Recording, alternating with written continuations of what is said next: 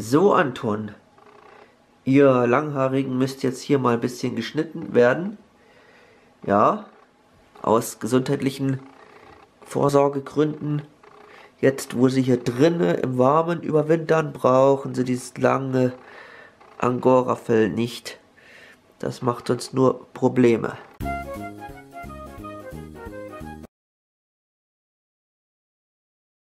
Okay. Okay. Du korruptes Huhn. Ja, Anton. Hier unten sieht man, was abgegangen ist.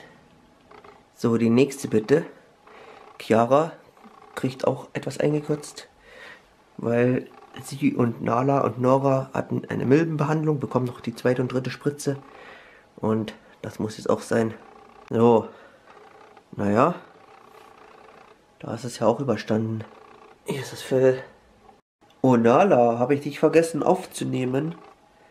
Hä? Hä? Hä? Naja, nun ist es schon vorbei.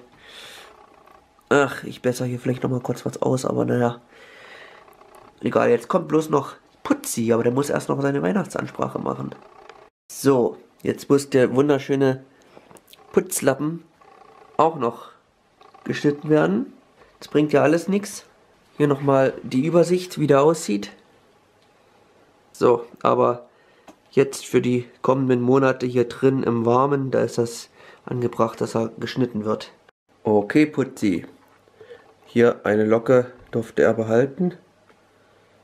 Und dann tschüss bis zum nächsten Video.